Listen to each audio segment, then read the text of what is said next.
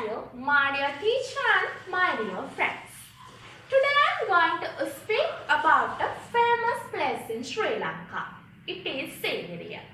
First of all, I must thank my dear teacher, Mr. D. Malawalaarachchi, because he encouraged me to deliver my speech today. My dear friends, do you know about Sigiriya or not? Okay, I'll tell about it you. Sigiri is also known as the Lion's Rock, is rock fortress and a palace located in Matale district of Sri Lanka. This ruins surrounded by gardens, ponds and other structures. City was built by King Kassapa and it is included as a World Heritage Site.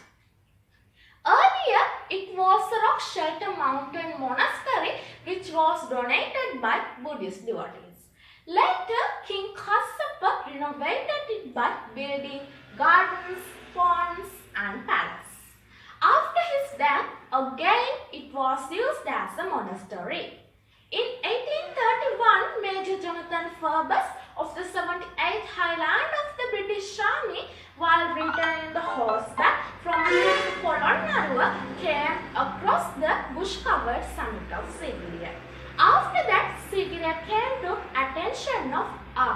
archaeologists. Sigiriya complex consists of a central rock and two rectangular precincts which are surrounded by two mounds. Actually, Sigiriya is a hardened magma plug from an extinct volcano. I think the most significant feature would be the lion's staircase. Now, my dear friends, let's see about frescoes. What are the frescoes?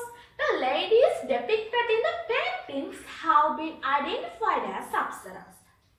However, these lot of ladies have been wigged out when the palace converted into the monastery because for us not to disturb to meditation.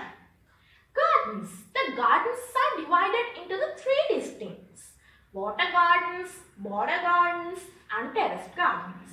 People of all types wrote on the wall on varying subjects such as love, irony and experience of all sorts. Now, I want to thank all of my family members, and all of my dear teachers and person who helped me.